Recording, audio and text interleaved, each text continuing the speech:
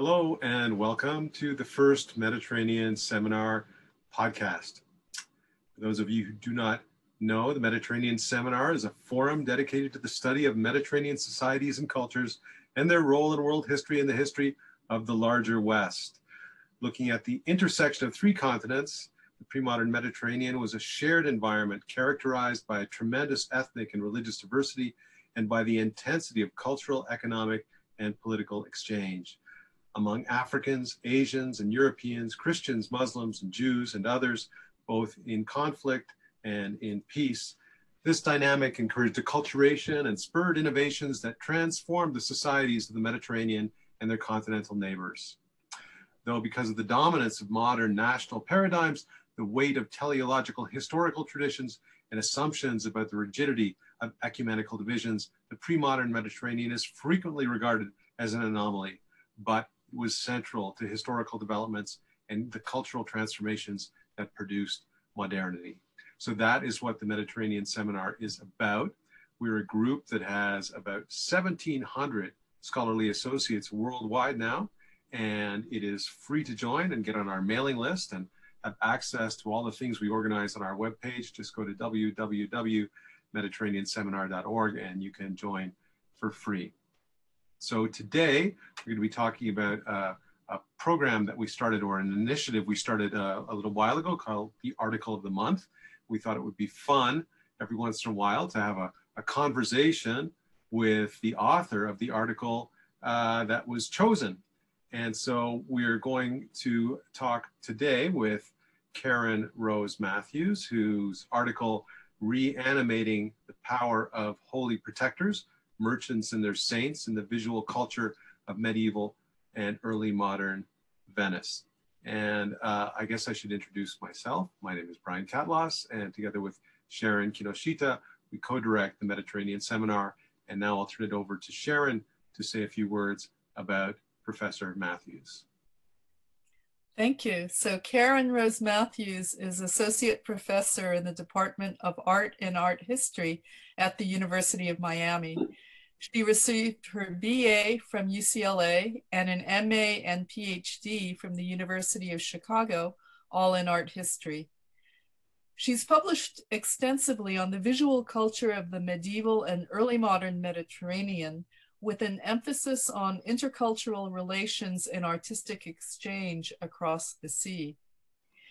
In 2018, she published a monograph on the participation of the Italian maritime publics in this multicultural environment and is currently working on a related book project that explores the role of the Mamluk dynasty in Mediterranean cultural exchange. She's also the editor of a companion to medieval Pisa, an interdisciplinary study of Pisan archaeology, history, and art history that will appear next year in 2021. Her research interests also include the use of XR, that is extended reality technologies, in the study and presentation of historic architecture. She has published in this field and has also created an augmented reality application that explores the art and architecture of colonial Latin America. So with that, um, Brian, do you want to introduce well, Karen again? And well, why don't we start, uh, Karen? Why don't you uh, give us a little uh, a little short précis or summary of the uh, article, and uh, we can take it from there. All right, well, this article addresses the cult of saints in medieval and early modern Venice and focuses on the cult of three saints that were significant over a long period of time. So I wanted this to be addressing what I call a longue durée or a, uh, an extended understanding of the cult of saints in Venice as it relates to St. Mark, St. Isidore, and St. George. So in the article, I argue that these saints were um, uh, recycled, I guess you could say. They were brought to the fore at various times in Venetian history over the course of centuries to serve purposes um, that varied depending upon the constituents, to address different audiences, and in essence to to, to work their, their power, to use their miraculous power to serve different groups within the city of Venice. So Mark is the first saint that I addressed. His um, uh, his story is perhaps the most interesting one. He is the saint that is most readily associated with the city of Venice, um, but he wasn't actually the first patron saint. So there is a, a story of usurpation as well when it comes to these holy protectors, as I call them, that uh, they can be replaced quite readily when a new one comes along. And Mark came along as a result of a theft a holy theft or a furta sacra, and everyone loves good theft stories, um, where his body was taken from the city of Alexandria, where it was believed to be under threat by Muslim officials, and was brought with great pomp and circumstance to Venice, where he immediately started um, uh, performing miracles for the Venetians, particularly for the Doge. Um, Mark's body was uh, lost, I guess you could say. So, so much for that glorious appearance in the city of Venice. Um, supposedly, he was stuffed in a pillar of the Basilica of San Marco. And then, miraculously, once again, um, he was rediscovered at a very important time in the building history of the Basilica when they were really trying to enlarge and aggrandize the space. Um, he once again falls into oblivion to come back again in the service of a very important social group in Venice in the early modern period, and that is a confraternity. And the interesting thing about the confraternities in Venice is that these were groups that were essentially made up of non nobles. So, where Mark had been a saint that worked for the nobility initially, by the time we get to the early modern period, we see that he is performing his miracles for non nobles, for ordinary citizens, for merchants, and for people who were involved in the Mediterranean trade that was so significant for Venice's lifeblood and Venice's prosperity. So that's just a nutshell of how one saint can have a number of different um, patrons, I guess you could say, and work for a number of different constituencies in one city. Isidore, for his part, was also stolen um, and was an important figure in the ongoing rivalry between Genoa and Venice that went on for centuries as well, um, and uh, was particularly related to the island of Chios, that was one that was very important for control of the Mediterranean by the Italians. And then George was a saint who once again came from elsewhere, was a saint from the East that was brought to the West to become a patron of Christianity and the Venetians when they were in a particularly difficult period in dealing with the Ottomans. And when Venice was very much challenged by Ottoman dominion of the seas, they brought back um, George as an important protector to show Christianity triumphant over these um, uh, threatening Muslim forces, and also was used in a number of paintings by artists like the Bellini to represent their close relationship with other Muslim groups, that is, the Mamluks, in juxtaposition to or in opposition to these threatening Ottomans, who um, indeed were uh, a troubling presence for the Venetians and did have the potential of threatening their Mediterranean commercial um, hegemony, if you want to use that word, that might be a little bit strong. Um, presence, let's just say presence um, in the, the 15th and 16th centuries. Great. Well, Karen, um, this work on Venice fits, intersects um, in a way with the book that you recently published, which looks at the four maritime republics of Italy, but in an earlier, uh, you know, in a relatively, well, a century and a half, so it's not a short period. Um, but you have a kind of um, horizontal take there, looking at the four republics, um, juxtaposing them one beside the other because they're distinctive, each one mm-hmm.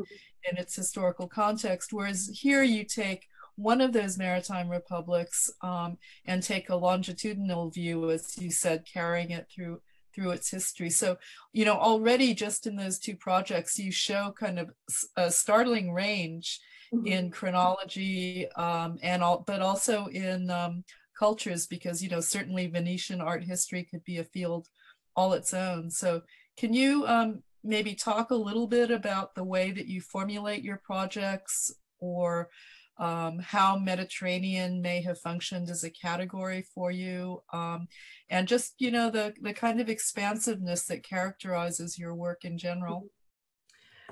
Right. Well, I had um, had great aims of in, in the book that I just published, going all the way out to the 14th century. And um, this book would have become an encyclopedia at that point. So kind of had to circumscribe it. Um, and felt that the time period right around the, the First Crusade and um, uh, slightly in its aftermath really created a conceptual unit for all of the four republics. This was a, a time period when these republics were, were, were nascent in a state of becoming.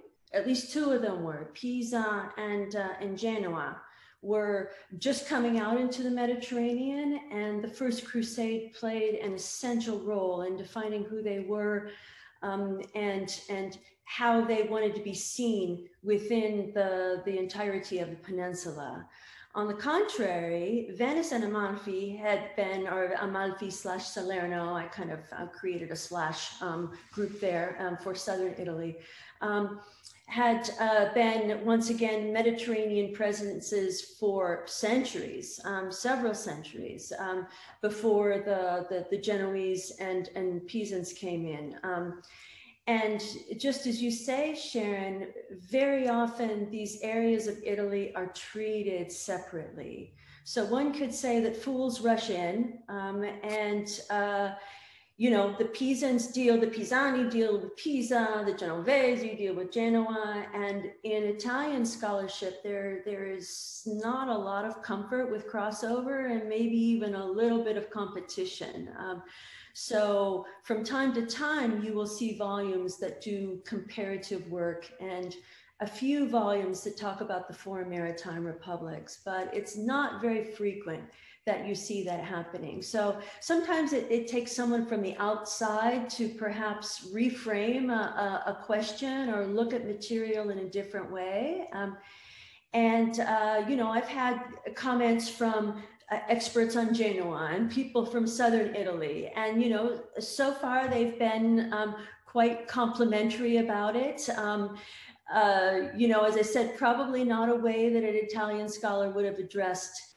this this material. Um, so I had, as I said, quite ambitious aims of talking about all the four republics um, uh, up until the 14th century, and this was just an unwieldy amount of material. So decided to kind of divide it up into to two books, um, but to in in in this kind of second book to foreground the, the, the, Muslim presence in the Mediterranean, whereas in the, the book on the maritime publics, obviously Italy was in the center. Um, and uh, as you both know, since you've known me since I, have been working on this material, I've been working on the Mamluks for a very long time. Um, this is a good two decades. Uh, so this is a chance for them to come out into the spotlight. And um, what I find interesting is that they haven't really been conceptualized as Mediterranean powers so much. Um, and that is because they were quite um, navally adverse. How is that for a nice way of putting it? Um, navally challenged, um, not really interested in seafaring, um, as the Mamluks were peoples from Central Asia and the Caucasus, with perhaps not a long tradition, obviously in their place of origin of that kind of movement.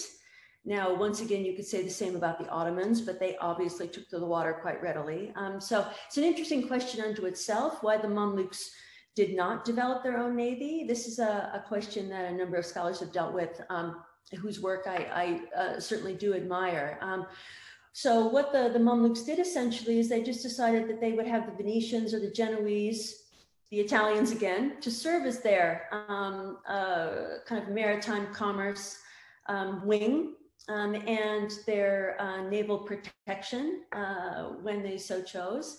Um, and uh, didn't necessarily need to have a naval presence. And so I think they've been overlooked for that reason. And so I thought it would be interesting to attempt to, to, to reincorporate them into the Mediterranean um, in the way that the Ottomans have been integrated um, by looking at commonalities in terms of their visual culture that connects them to all of the cultures around the sea.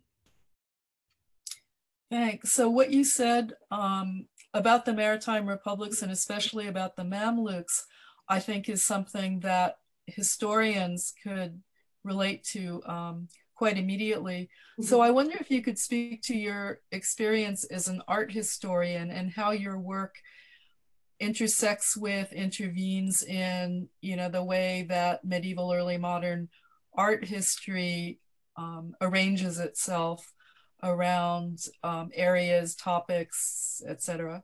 Mm-hmm. Well, in the article, um, I I crossed a boundary, I guess you could say, that is not often crossed in art history, and that is you work on medieval Venice or you work on early modern Venice, and then you can go on and work on Baroque Venice if you so choose. So, eh, art the art historical discourse still continues to fall the fall, follow these these kind of strict periodizations. Um, and what was interesting to me is, as someone who was edging into the 14th century already, which was pretty foreign territory for someone who is a Romanesque scholar, you know, so we're talking about the year 1000. Um, and then discovering the extraordinary amount of commonality that existed uh, and continuity as well between the visual culture of early medieval Venice so we're talking about when the first Basilica of San Marco is created and, and, all the way to the creation of these extraordinary spaces of these confraternities or scuole in the city. And um, so in, in essence, those two are often not brought together, but I saw with the cult of saints uh, a, a number of threads that you could follow through this material that really created a link between seven centuries or so of Venetian society and Venetian visual culture.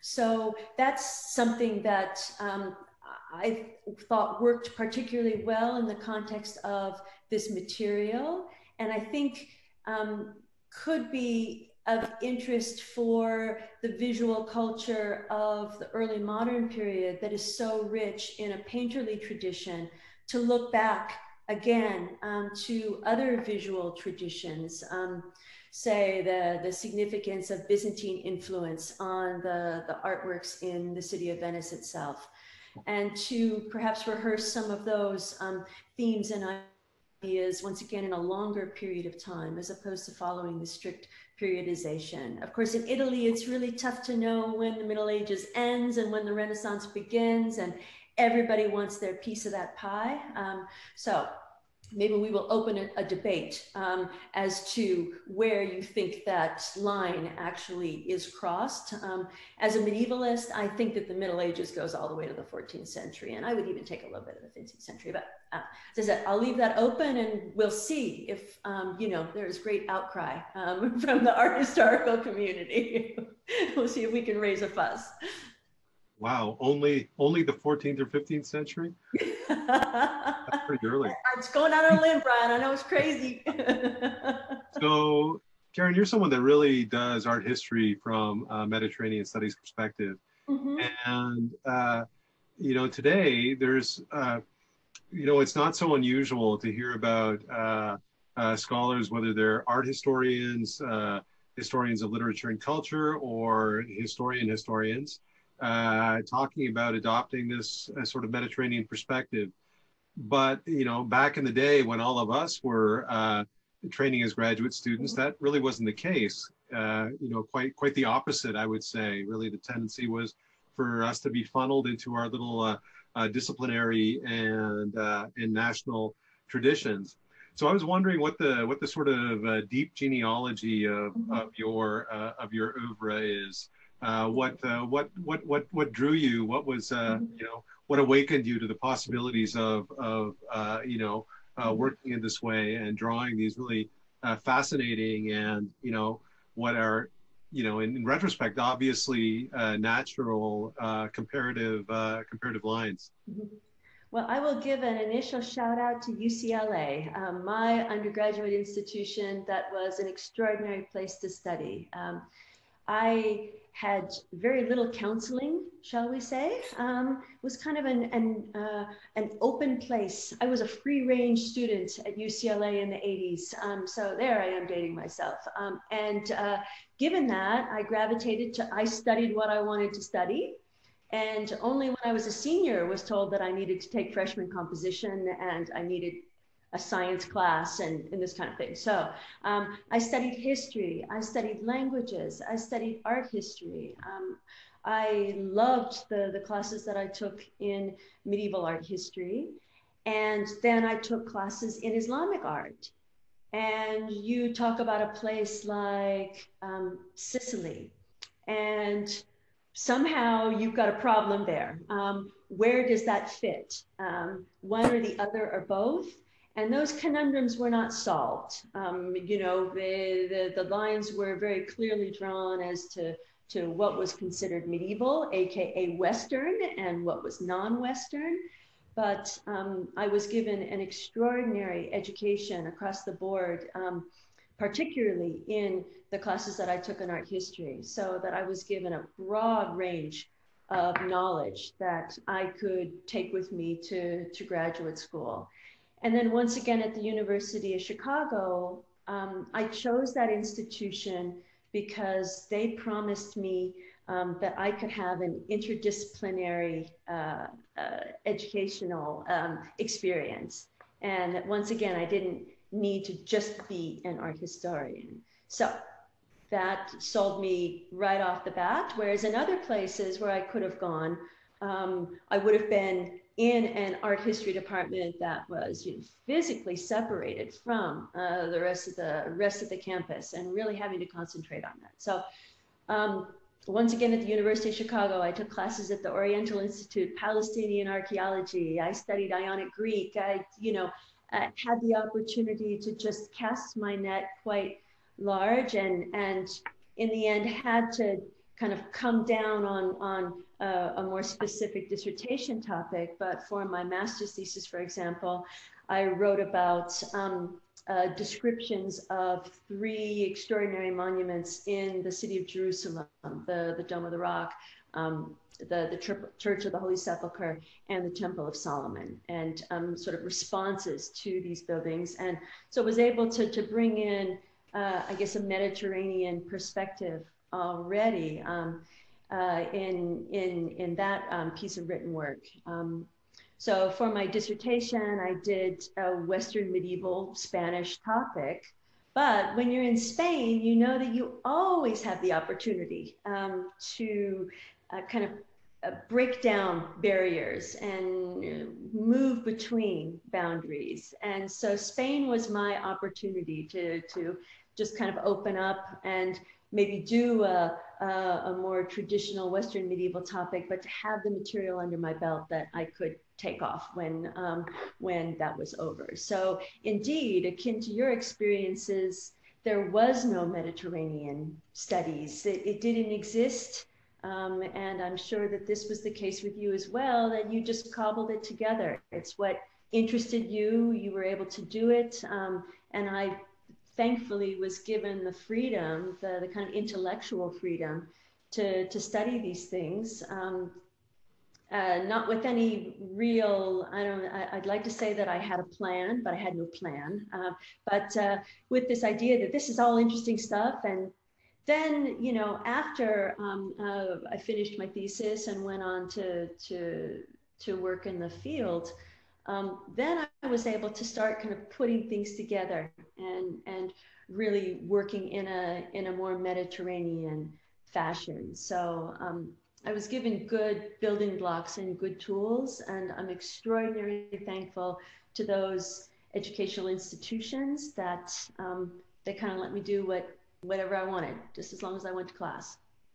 Yeah, I think there's something to be said for uh, uh, institutions that are, are so big and have such a, a variety of offerings. I mean, this is what the university is supposed to be, right? The sort of idea of universal knowledge. Your experience was really similar to mine as I went to the University of Toronto mm-hmm. uh, as an undergraduate and as a graduate student. And as an undergraduate, my policy was I would not take any classes before 11 a.m. and none after 2 p.m. Mm-hmm. so I ended up with this sort of crazy grab bag of classes too. But out of that came, you know, a really sort of interesting uh, perspective on things.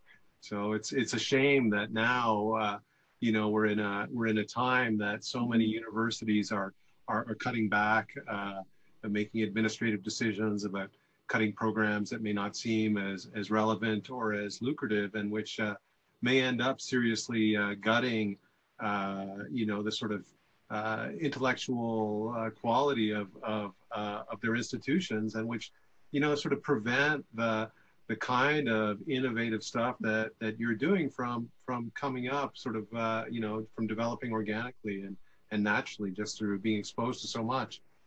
Yeah, I would tend to agree. And yet, on the other hand, one could say that in its stead, perhaps there is a, a that the promise of a curriculum that is actually a Mediterranean in nature, right? That now that this has become so commonplace, um, that you two have been involved in creating an institution, I guess you could say, right? It's been institutionalized.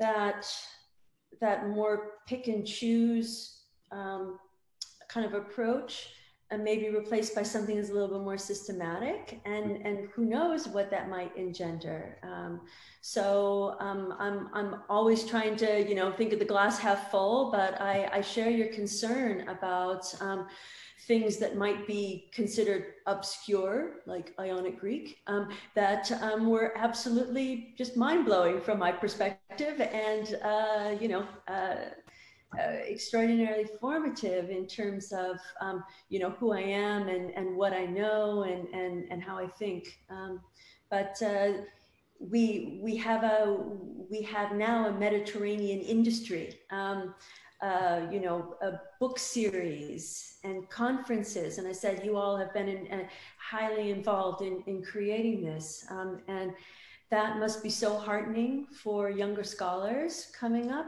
to see this to have it valued, to know that they don't have to choose and that they they they can do all of these things um, and uh, can can cast their net widely when it comes to their intellectual choices and and have a, a, a substructure for them a foundation upon which they can build well as someone outside the field of art history i'm just you know, fascinated by the materials that you work with.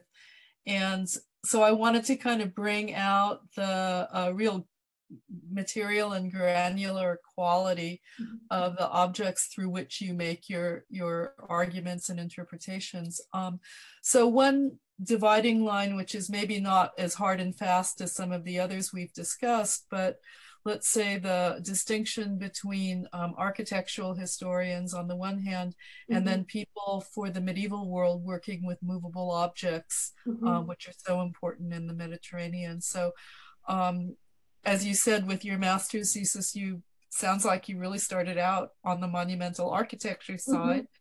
Mm-hmm. but since you have worked with a lot of um, smaller objects, I wonder if you could I, I would just like to hear you riff on what the differences are or or is that a misconception to think of differences or how how working both sides of that um, line i won't call it a division um, mm-hmm. has um, benefited your ability to read objects on both sides mm-hmm.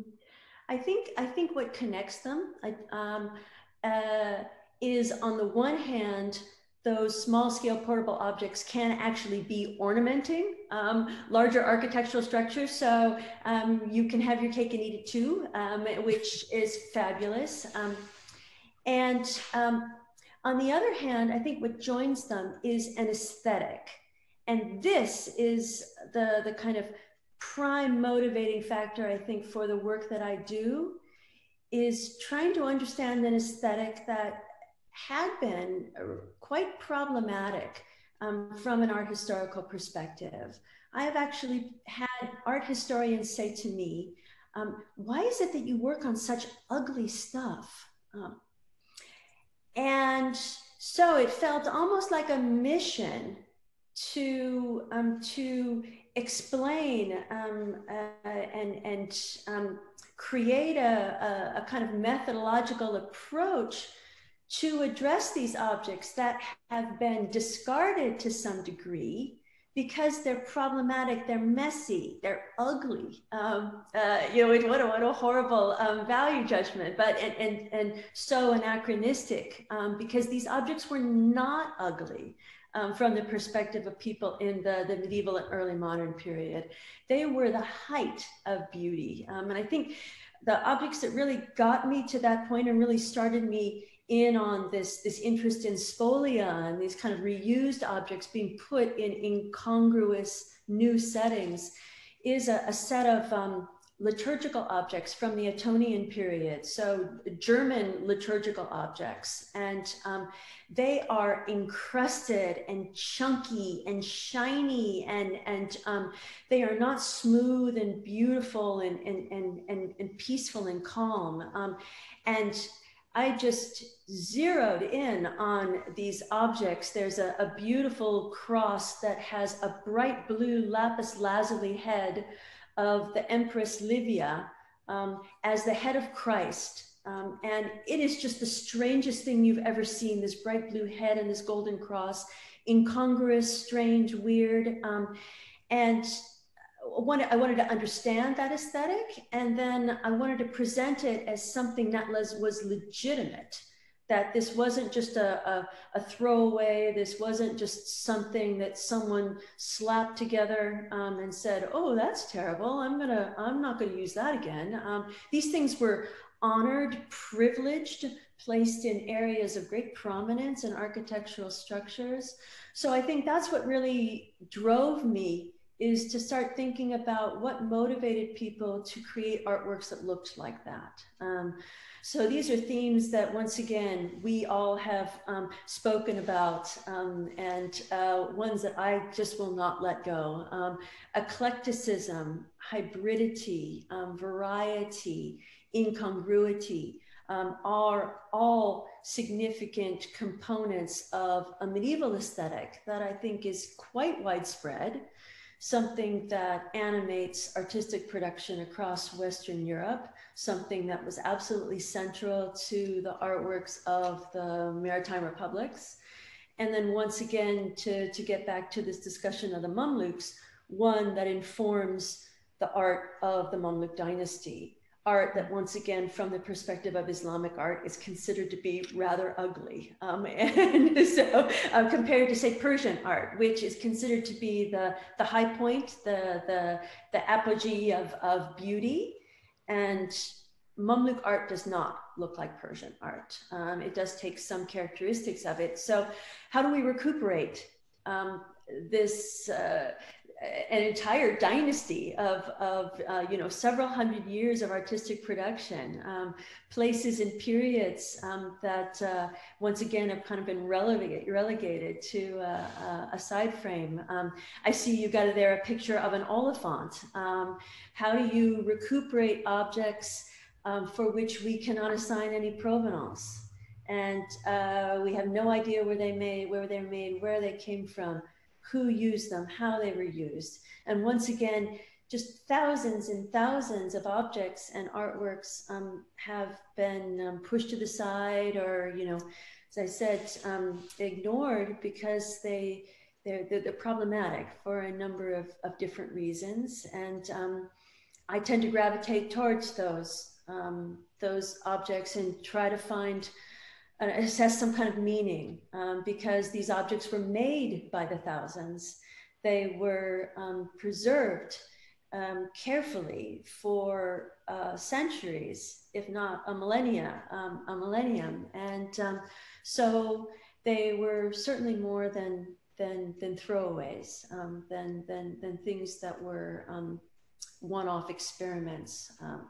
so that's uh, that that that's what unites um, the architectural aesthetic that uses a lot of these objects to decorate them. And you have those strange juxtaposition of things on buildings like the Basilica of San Marco, um, the, the, the ceramic, uh, Islamic ceramic bowls that I talk about on, on the exterior of churches. Um, once again, a kind of a strange mixture of cultures and things, um, but in the end made sense to the people who used them and, and had deep significance, or they wouldn't have gone through all that trouble. I just have to say that one of my all-time favorite article titles is your study of the bacini in mm-hmm. Pisa, other people's dishes. Thank you. Well, you know, I, I, it was really, they were really perceived and appreciated because they were other people's dishes. Um, and the, the wondrous thing about those plates is that there is evidence that they were actually used as plates first and then put on church facades. And how extraordinary. Is that? Um, you know, I'm done with this fork. Uh, you know, let me uh, let me use it to ornament. You know, my parish church. Um, it uh, it is it is quite weird. Um, so you know, it, it raises the the strangeness of of that from our perspective, but the highly quotidian nature of that reuse. Um, and once you start looking for bacini, and um, I have now become part of a, a, very large international community of scholars working on this topic. Um, in, in Crete, on the island of Crete alone, there are over 300 buildings that use um, ceramics as uh, ceramic bowls um, as decoration. So once you start scratching the surface, it it's just extraordinary the amount of material that's there, and um, so satisfying and fulfilling to talk with people who share that that interest um, and are interested in kind of you know sharing their knowledge um, and their wonder at uh, at this uh, this artistic phenomenon. I, I want to underscore what you just said about, um, you know, I mean, Pisa is known for its bacini, but you're mm -hmm. saying that all of these examples have been discovered um, on Crete. And once you scratch the surface, mm-hmm. this could be, you know, the, the motto of Mediterranean studies, I think, you know, because mm-hmm. we have people coming up with things that seem irregular in their own little corner of the Mediterranean. And then it turns out that, oh, it's happening over here and over mm-hmm. there as well. So, and, and you want to talk about a pan Mediterranean phenomenon. Um, they are everywhere. You can indeed trace the entirety of the Mediterranean from west to east and find this example of um, an artistic practice and an aesthetic that appreciates that artistic practice around the entirety of the, the Mediterranean. So let's hear it for bowls. Yeah, and you know, this is something I think that we find again and again with uh, uh, Mediterranean culture.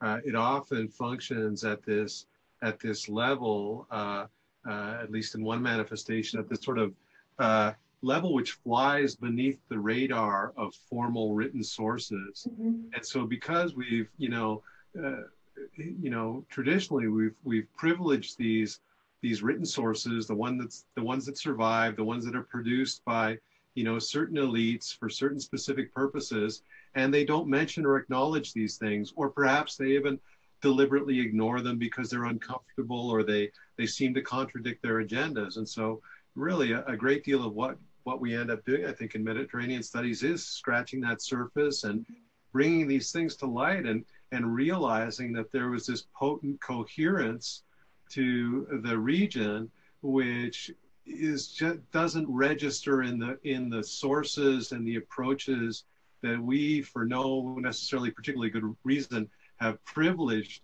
to the exclusion of other perspectives. And that's, I think, really important and really exciting.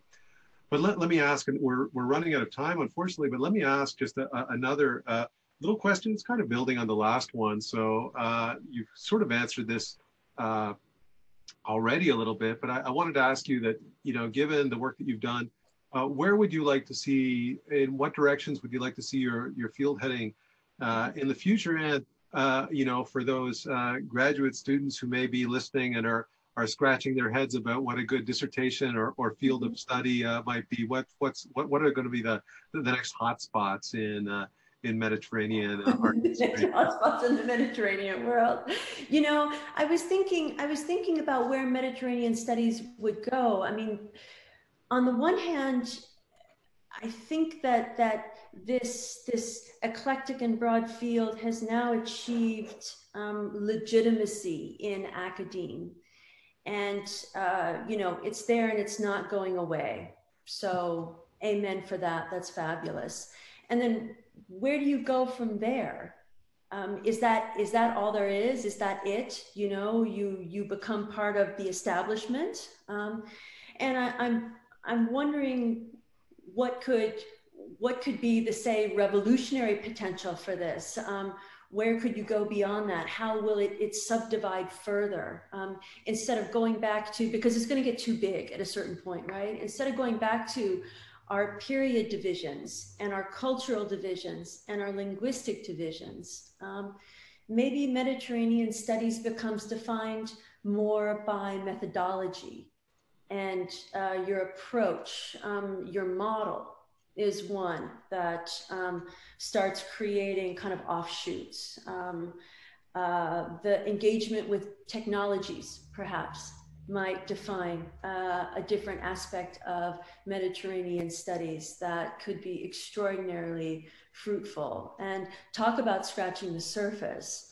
When given new tools, um, uh, for investigation, just think of what people might be able to find above and and below ground. So um, I I don't know what the next new thing is. Um, I'm going to wait and see. I'd love to I'd love to prognosticate, but that is beyond my uh, that is beyond my skill set. Um, but rest assured that there remains myriad artifacts, um, objects, and places that have not received their due. Um, and I will leave it to a younger generation to go out and find them.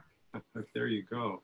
It's a, a charge for the the uh, the newer scholars that are listening to go forward. Yeah, the tech the technological thing is really interesting in so many different ways. I mean, the, the mere fact that now uh, you know we can easily digitally access uh, obscure journals from around the world uh, or doctoral dissertations that are done mm-hmm. in different countries by mm-hmm. really amazing graduate students. Uh, and these studies may never come out, probably will never come out as monographs.